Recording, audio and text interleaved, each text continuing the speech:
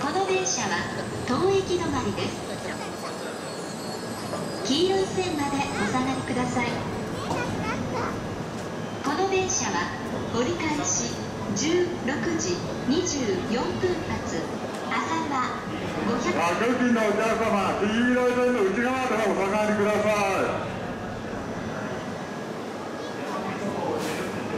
浅野号到着です。足元黄色い線までださい。足元黄色い線までお下がりください。